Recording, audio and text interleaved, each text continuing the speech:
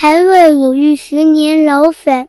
二楼，你这个名字有点厉害，好像在哪里遇到过这个人。嗯，我要控告了。哎呦，这个你名字牛逼吧，兄弟？我边路之怪呀，兄弟。有点东西，兄弟，有点东西。兄弟，我可以让你看一下我的元歌子。兄弟，你这么厉害吗？哎呦，兄弟，我教你玩元歌呀。哎，你也不是玩元歌的吗？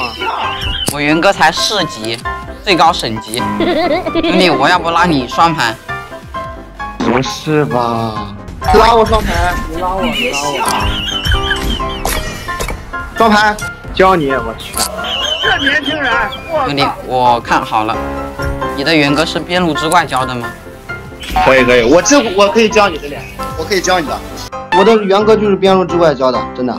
我装备我都了如指掌，我跟你说，全都是跟他学的。兄弟，我已经开始羡慕了。可以吧？他第一件装备是，他第一件装备是鞋子，我教你，第一件装备是鞋子。